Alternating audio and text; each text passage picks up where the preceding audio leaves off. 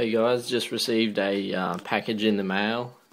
This is the new Turnigy servo and um, 1450 milliamp 2 cell 6.6 volt uh, LiFePO and DSM2 and this is the um, test for centering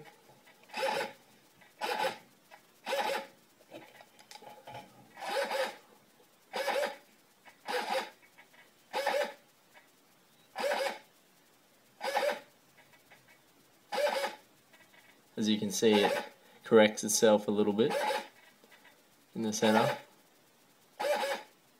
And then here we've got uh, I'll put some load on it so I'll wiggle the gears.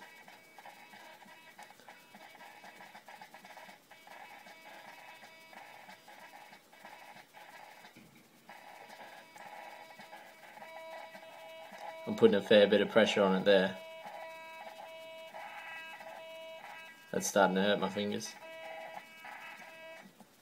And so yeah, that pretty much sums it up. Um, I'll do a slow as slow as I can. Or as smooth as I can, I should say.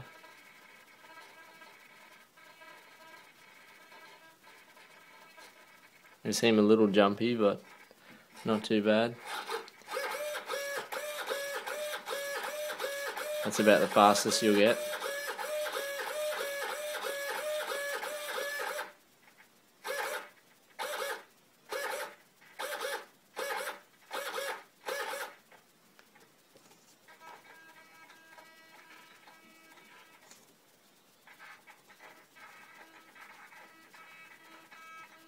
The servo's only hot glued on the table, so getting a little bit of flex from that.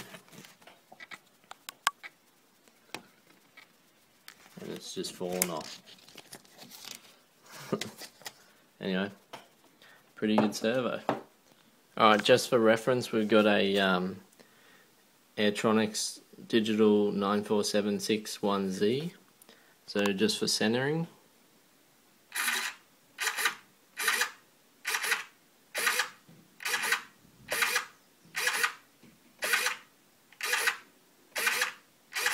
And gear slop.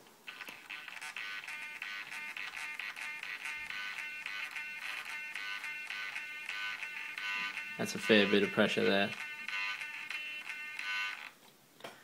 And for smoothness.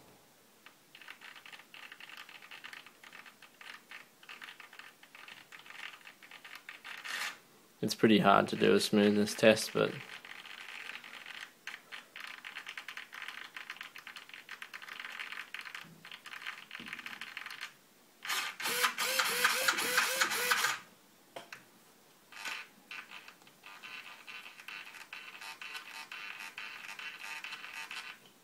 so a bit less slop.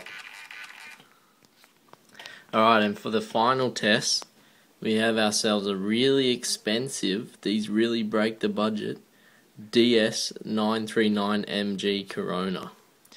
So we'll see how, uh, see how she performs. Alright, same gear.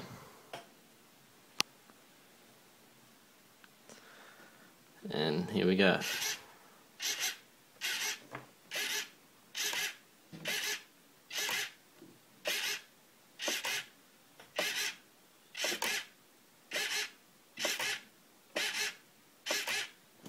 And here is the slop test.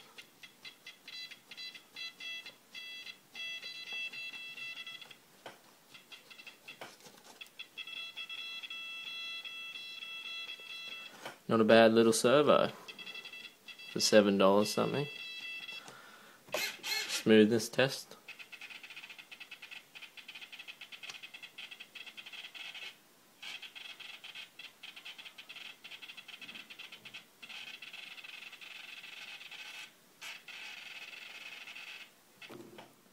So we've got ourselves three digital servos here, all very good, all different price ranges, and all for different applications.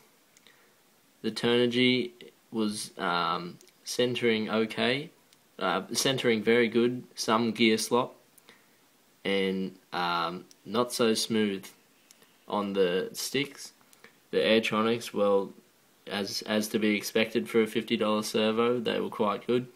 And the Corona, noticeable gear slop at the start, um, and but quite a good dollar uh, servo for seven dollars.